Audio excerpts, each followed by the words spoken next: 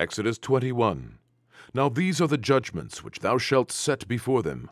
If thou buy an Hebrew servant, six years he shall serve, and in the seventh he shall go out free for nothing.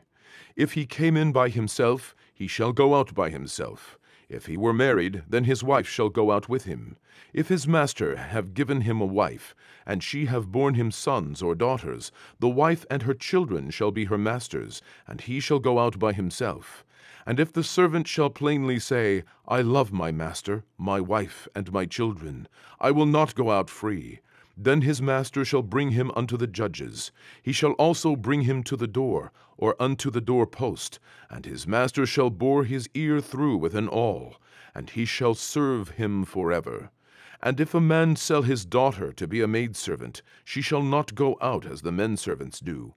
If she please not her master, who hath betrothed her to himself, then shall he let her be redeemed. To sell her unto a strange nation he shall have no power, seeing he hath dealt deceitfully with her.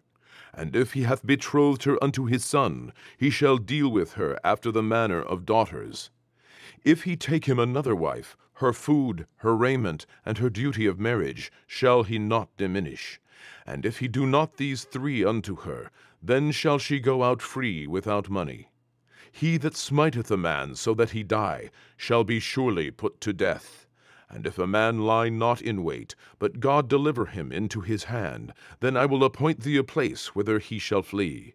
But if a man come presumptuously upon his neighbor to slay him with guile, thou shalt take him from mine altar, that he may die. And he that smiteth his father or his mother shall be surely put to death.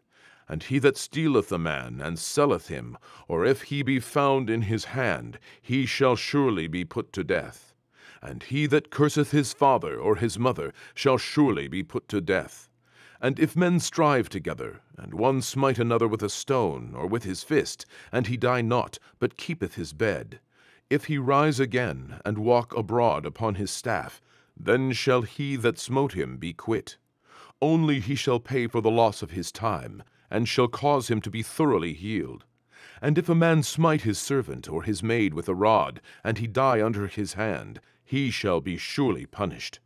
Notwithstanding, if he continue a day or two, he shall not be punished, for he is his money. If men strive and hurt a woman with child, so that her fruit depart from her, and yet no mischief follow, he shall be surely punished, according as the woman's husband will lay upon him, and he shall pay as the judges determine. And if any mischief follow, then thou shalt give life for life, eye for eye, tooth for tooth, hand for hand, foot for foot, burning for burning, wound for wound, stripe for stripe. And if a man smite the eye of his servant, or the eye of his maid, that it perish, he shall let him go free for his eye's sake. And if he smite out his manservant's tooth, or his maidservant's tooth, he shall let him go free for his tooth's sake. If an ox gore a man or a woman that they die, then the ox shall be surely stoned, and his flesh shall not be eaten, but the owner of the ox shall be quit.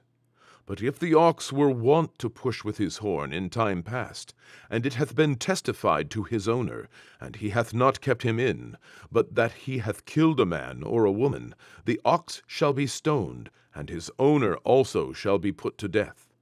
If there be laid on him a sum of money, then he shall give for the ransom of his life whatsoever is laid upon him whether he hath gored a son, or have gored a daughter, according to this judgment shall it be done unto him. If the ox shall push a manservant or a maidservant, he shall give unto their master thirty shekels of silver, and the ox shall be stoned.